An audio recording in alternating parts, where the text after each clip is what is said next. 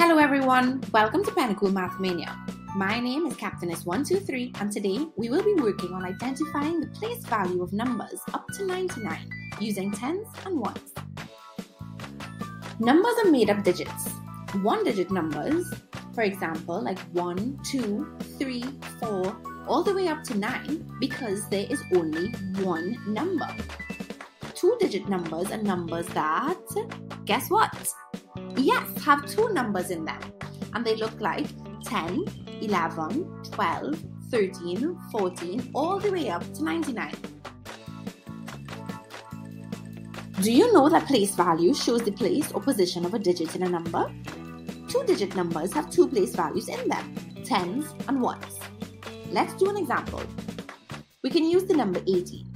The number 18 has two digits, and these two digits can be separated into tens and ones the 1 is under the tens column or in the tens place, and the 8 is in the ones column or in the ones place.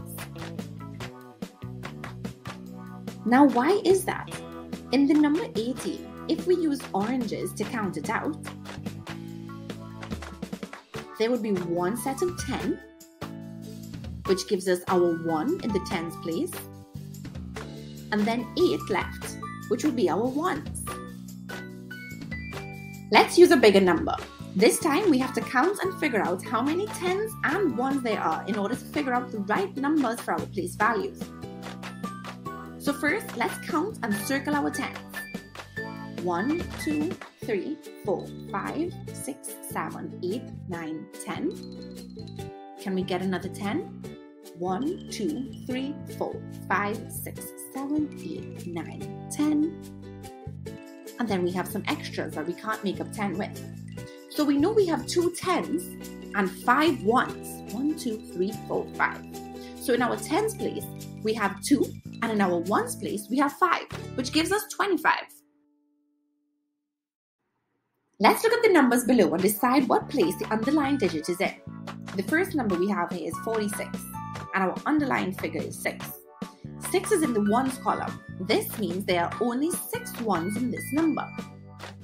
Our next example is 72 and the underlying number is 7. 7 is in the tens column.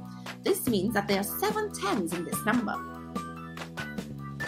And for our last activity, if a number has 9 in the tens place and 2 in the ones place, what number is it?